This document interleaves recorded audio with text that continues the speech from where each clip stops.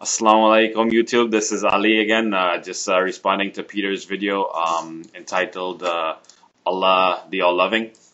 Hey Peter, um, basically uh, what, what I would um, you know respond to that is that the most perfect being does not need any other uh, beings to justify their perfectness, if, if that makes any sense. Uh, I'll give you an example. Like, um, let's say the most perfect computer programmer he doesn't necessarily need anyone else to prove that he is the, the, the perfect programmer.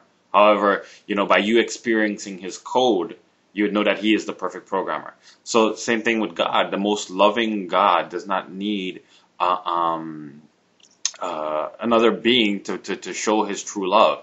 You know, we when we experience God's love, we know He's the most uh, most loving. I hope that makes sense to you. Like uh, also aside from that, you know, you, you, you, you mentioned that in Islam we believe that um, God is most loving, but we also believe God is most forgiving. Now let me ask you this: if if that is the case, then in, in, in your in your triune God, who is the sinner? You do understand? Because if if God is most forgiving, then you know either the Father is the sinner Either Jesus is the sinner or either the Holy Ghost is the sinner for him to be the most forgiving. In your example that you're telling me that in order for God to have the most perfect love, he needs to to have um, another being to, to, to, to show that true love. You understand? Also in Islam, we believe that, uh, you know, like one of the, the 99 attributes of God, he is the master of the day of judgment. Now, who is he going to judge if uh, creation wasn't there? See, when we say, you know, God is most loving, we mean most loving to his creation.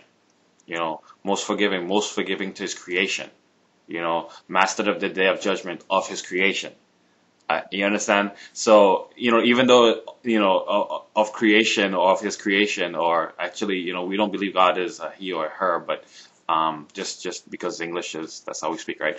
Um, but do you understand what I'm saying? Is that if God is the most perfect being, He does not need another being to be to, to show his perfectness. By our experience of god that's how we we experience you know what that perfect being gives us.